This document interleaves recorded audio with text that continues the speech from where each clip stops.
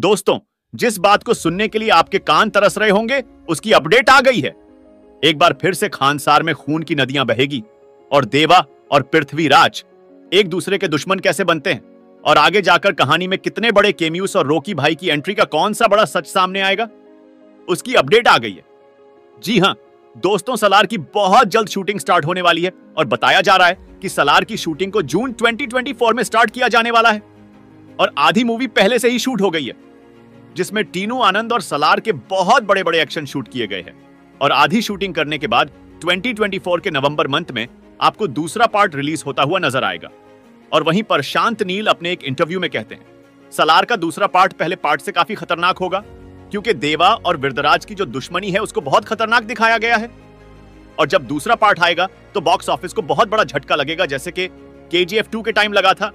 क्योंकि पहले पार्ट में तो स्टोरी को समझाया गया है और दूसरे पार्ट में जब स्टोरी खत्म होगी तो उसमें बहुत कुछ लोगों को क्लियर हो जाएगा।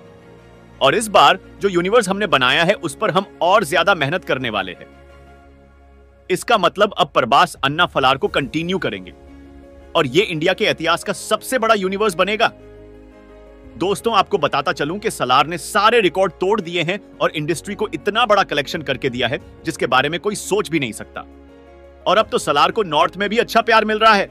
गैटी गैलेक्सी के ऑनर मनोज देसाई कहते हैं, सलार के सारे शोज़ हाउसफुल चल रहे हैं और डंकी को कोई भी देखने नहीं आ रहा है। और वहीं अब तो संडे की कलेक्शन और ज़्यादा आने वाली है। ऊपर से विंटर वेकेशंस भी स्टार्ट होंगे। इसका मतलब सलार 1000 करोड़ कमाने के लिए तैयार है। और इस बार जवान और पठान के बाद साउथ की सलार 1000 करोड़ कमाकर इंडिया की पहली एक्शन मूवी बन जाएगी, जिसके आसपास कोई रिकॉर्ड नहीं आ सकता।